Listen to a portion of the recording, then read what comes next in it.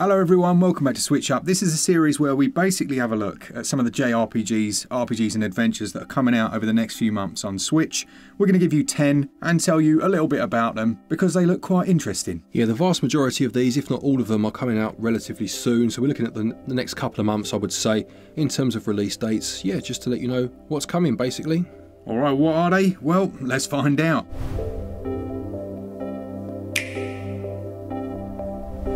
First up then we've got Eiyuden Chronicles 100 Heroes. Now this is the sequel to the prequel that we reviewed on the channel that was Eiyuden Chronicles Rising. This is a fully fledged RPG that builds on the characters that you'll meet in those games, one of the coolest of which is a kangaroo with a buster sword.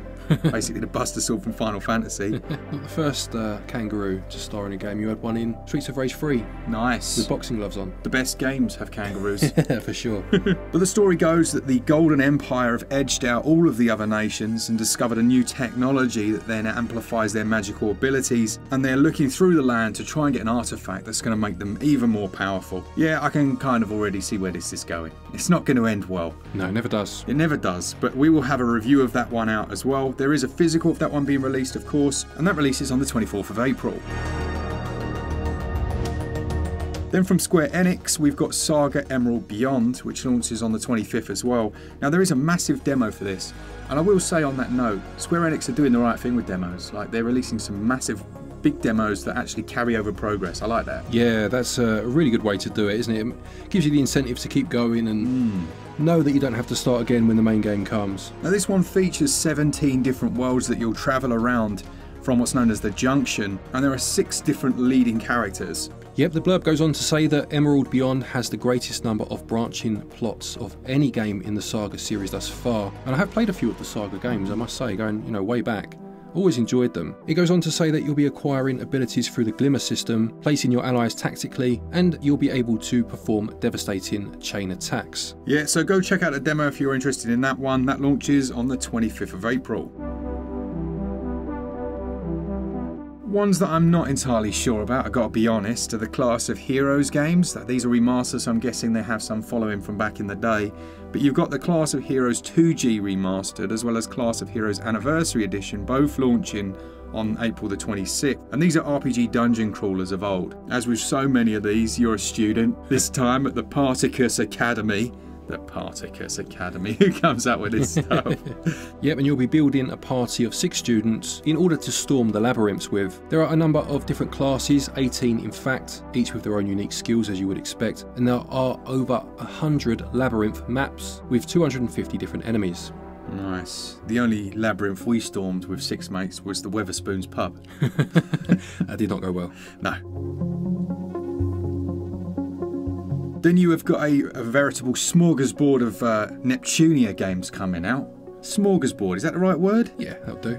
Nice. Um, there's four of them. I'm not going to go into details of all of them because I can't be bothered. But this one here is the Neptunia Game Maker Revolution, or, or R Evolution. wonder if that's anything like the other Game Maker we've got on Switch. Quite possibly. That one comes out on the 14th of May, and then you have three that drop on the same day, which are all from the same sub series by the looks. You have Hyperdimension Neptunia, Rebirth 1, 2, and 3.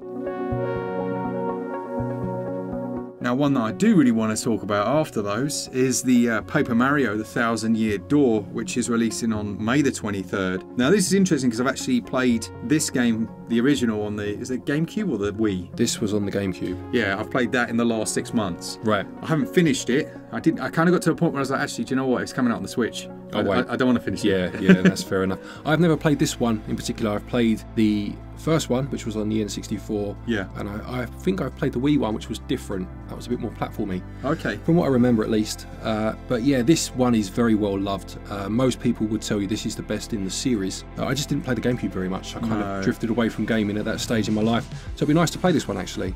Yeah, it's that art, kind of art style that holds up. It's completely timeless. Looks amazing. Yeah, it does look lovely. Very clever idea of Nintendo's going back to then, you know, to uh, to go to that like paper-like character that mm. you know when you turn you can see their paper fin, and the humour in these games from the ones I've played is on point. That one releases on May the 23rd.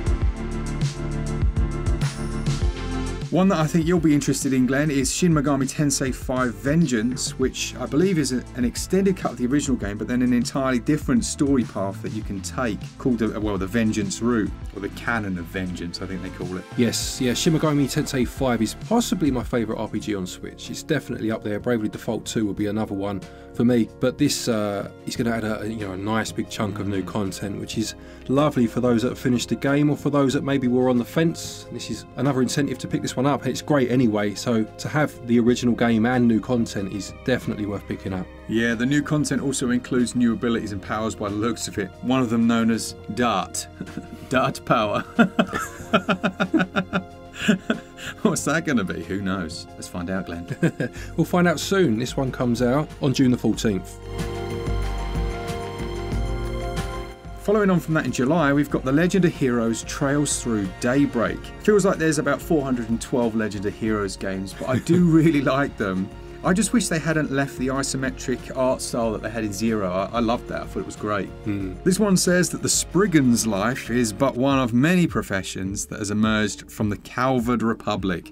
Now, if you've played the games, some of that may make sense to you. To everyone else, I apologise profusely. It is one of those series where they link to each other in small ways, even if you can pick them up, you know, from different points. Sounds like there are different professions like detective, negotiator, or bounty hunter, which might mix things up nicely. Anyone that tries to do their own spin on job systems you know that, that can really add a lot to an RPG. Yeah, it's a well-worn trope by now, isn't it? So anything new is, uh, yeah, it's nice to experience. That one releases on July the 5th.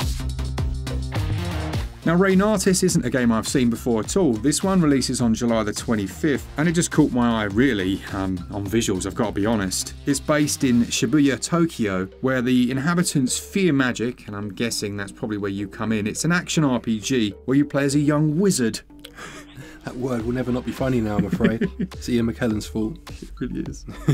now, this is Furyu's next big project, so that's kind of another reason to keep your eye on it. They're known for doing excellent RPGs, and it looks a lot higher budget, I think, than a lot of people thought. Now, I, I remember actually seeing the trailer for this, and the comment section was just people saying, my goodness, this actually looks incredible. So we'll be keeping our eye on this one and making sure we bring you a full review.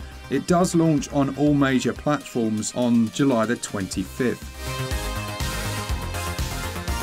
One that's due to come in 2024 as well, and it doesn't have a release date, so I probably shouldn't put it in, but it looks good. so, so, it's going in. It's Decapolice. Now, this is developed by Level 5. That's another thing that caught my eyes. There are certain developers that just do good JRPGs, and uh, yeah, these guys know how to make one. Now, the main character is a rookie detective named Harvard, which is quite funny. I don't know why it's funny, but it's just not the kind of name you'd expect. And he's hunting down criminals in an open world city. That's another idea that I don't think many RPGs go fully, uh, you know, open world within an area like that. Yeah, no, absolutely. And it says you'll travel back and forth between physical and virtual realities, which is uh, again a nice trope to have in a game if it's uh, if it's done well. Yeah, absolutely. Virtual reality. That was my Jamiroquai. Virtual. Oh, it's insanity, insanity, isn't it? Yeah. Works though, doesn't it? Well, I mean, it sounds the same, yeah, I suppose. That's what you're going for. It rhymes, yeah. What song's that? That's Deeper Underground. Ah, he knows. He it's Bad film, good song. Great song. Yeah, terrible film. Terrible. Terrible. So that's it. Those are 10 RPGs that are coming out over the next few months. Let us know if we've missed any. Well, we definitely have missed some because we skipped them because they look rubbish. So let us know if there are any that you think actually you shouldn't have skipped those. They're probably quite good. yeah, nice and blunt there. Love that. On the nose. On the nose, yeah. Smashed it right on the nose. Don't forget, if you're looking for eShop credit to pick any of these games up, you can get your eShop cards over at our website, switchup.gg. You get yourself 5% back in cash back, and you can then obviously spend that on a future purchase. Thank you to our Patreons, our members, all of you. Enjoy the content for all things Switch all the time. Keep it Switch up. Cheers, guys. See ya!